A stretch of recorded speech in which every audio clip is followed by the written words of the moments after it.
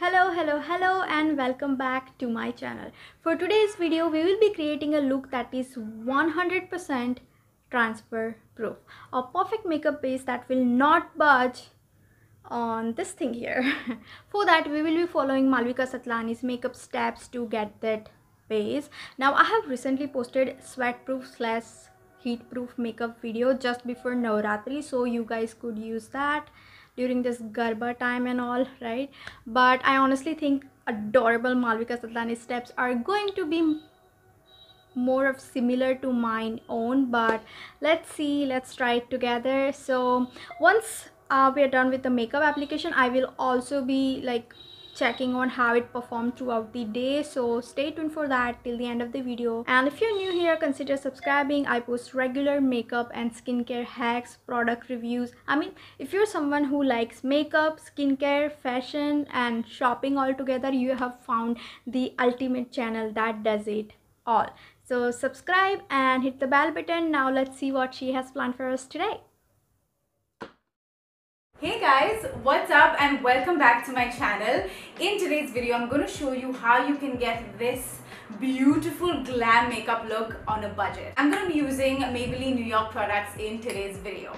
Okay, so it looks like she's going to be using all the products from Maybelline. Let me just get those so we can really taste, I mean proper taste her techniques focus mostly on the base and how you can get your makeup to stay transfer proof because we know all of us wear masks these days. I'm going to teach you techniques on how you can avoid the transfer of your makeup on your mask. Before we jump into the video, I want to thank Maybelline for partnering with me in today's video. The Fit Me range is non-comedogenic and I know that's very important for most of you to know. Um, it does not clog pores.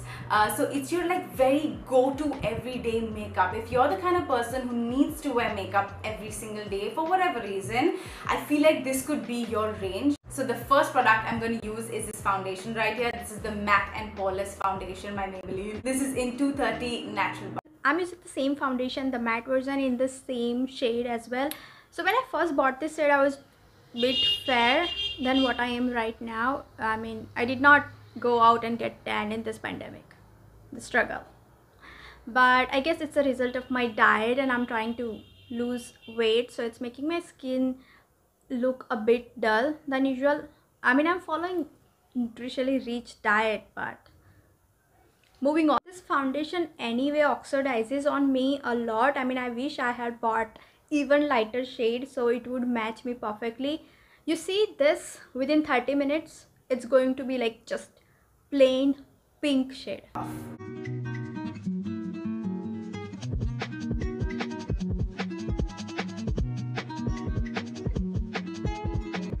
So this is the first layer of the foundation. I applied so little and I just blended it out. If you're someone that needs makeup every day, like I said, your go-to makeup, you don't need a heavy duty foundation that's going to clog your pores. So I highly recommend this.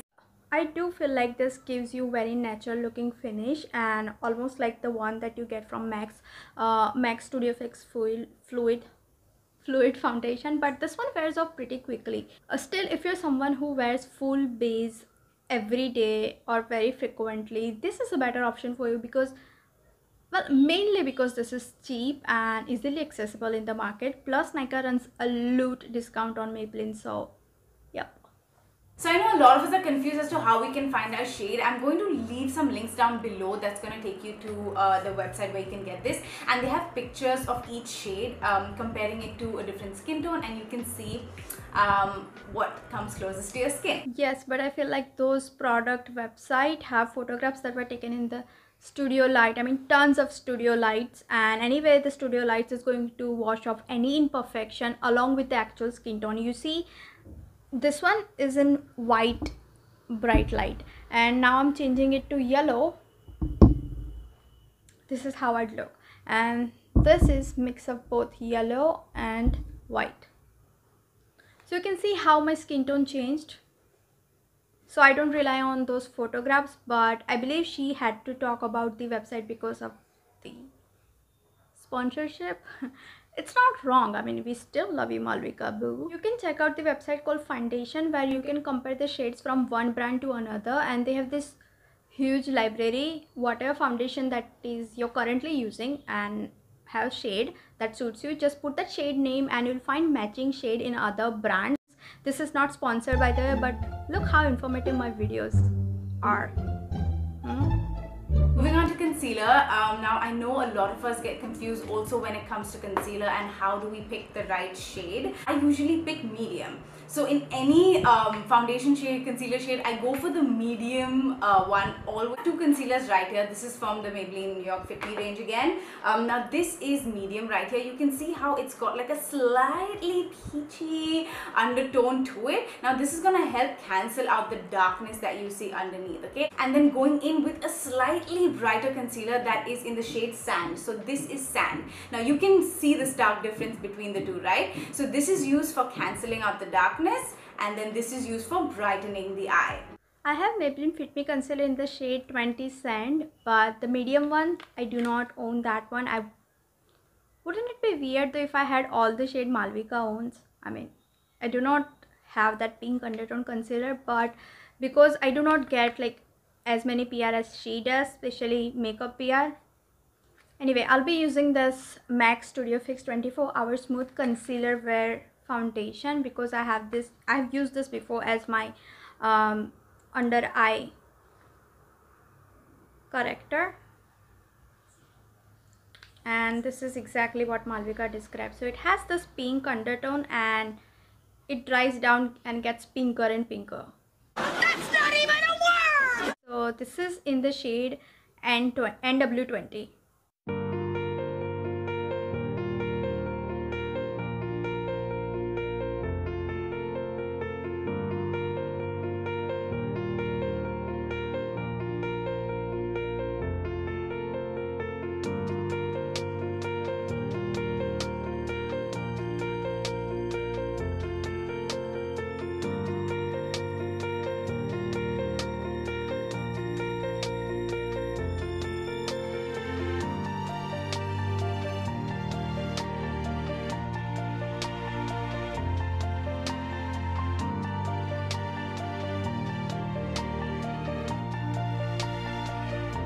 pick up the Fit Me Loose Finishing Powder and this is in the shade 15 Light.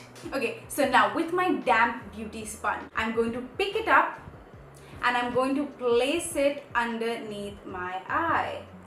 Just like that. To lock it in, you will press the powder into your foundation like this and mattify it completely don't worry about getting too dry. So all you gotta do is make sure you are setting your base. This is the key to long wearing makeup. So again picking it up stamp it really well. I personally don't mind baking under my eyes because that's where i have the darkness and the yellow undertone in the powder is going to help me cover that. But i definitely hate putting so much powder all over my face especially as a last step of my makeup routine because that's gonna make me look cakey as hell. No matter what the powder is it it could be fit me it could be huda beauty it could be revolution banana it could be anything but it is going to make your face look cakey. So my preferred step would be uh, to use setting spray after this step i mean immediately after this but she isn't doing that probably because the sponsorship in this video and she has to use all the Maybelline products in this video. I think that's what sponsorship means but maybe it works. Maybe it just works like that. Maybe it works without setting spray.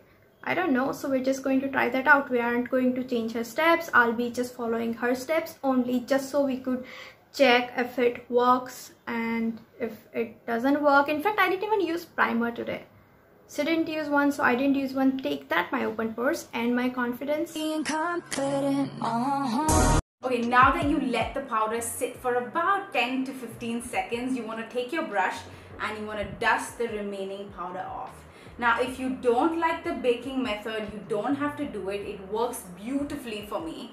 My concealer and my base is bulletproof the entire day. But if you don't want to do it, you can skip it and you can just take your beauty sponge and you can set your under eye with the powder or you can pick up your brush and you can just look up and set your under eye with the powder. So that is it summing it up. I highly freaking recommend the Fit Me range because this is one of my go-to range. I'm move on to the rest of the look. I'm going to create my eye look today using this palette. This is the Maybelline New York Lemonade Craze palette. So I only have like this two palettes from Maybelline and initially I wanted to create a look from these two only but the look she has created is gorgeous and after all we're not testing out. Maybelline today we're testing Malvika's technique so I wanted to stick to what she has done in this video. And even though eyeshadows have nothing to do with mask and transfer proof makeup.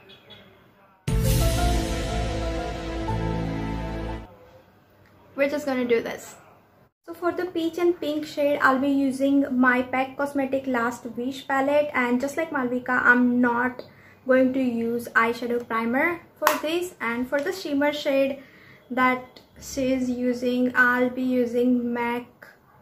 It's from the Frost launch and this one is called Phloof Frost A58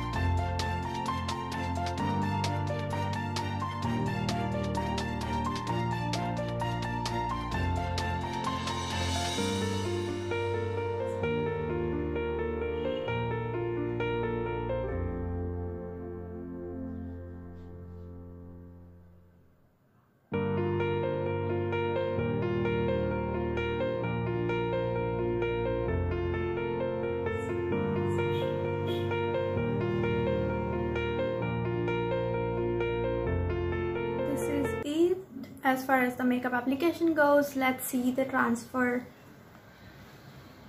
magic.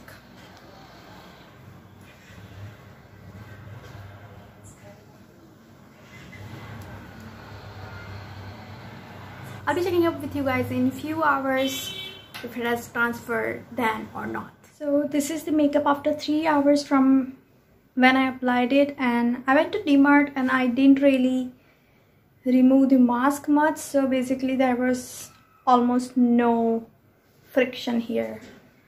So this is how it looks on my face and on mask. So I guess you guys are getting foundation Veritas review too two in one. You like that. So clean so this is the finish after five hours and i went for a run. You can see from my clothes that i went for a run. I couldn't go to gym because i just didn't want to be the girl who wears full face of makeup at gym but it has started to transfer now. But i feel like it's the foundation and not the technique that is breaking this. Basically after five hours normally this foundation starts to dissolve into my skin basically wherever wherever I have texture or around my nose around my mouth anywhere where I have a texture. So yeah and final conclusion is it's it works for about four four and a half hours almost five hours if you want but I would still prefer setting spray after the baking. And I think you can stretch that time for up till eight hours if you want. I don't know why I'm into natural makeup these days but setting sprays. Does make your makeup look quite natural and skin like so now that I think about Malvika's steps are far more different than mine own and well my videos my that video was focused basically on sweat and heat resistance so of course this video is going to be different and have a different steps than mine own but that video those steps they work they work hard and they get the job done so make sure that so make sure that you check that video out and if you enjoy this you might be interested in my instagram feed. That's where I post my short, quick, no BS, always honest reviews and bomb tutorials. So let's connect over there at Instagram and I will see you in my next tutorial. Bye!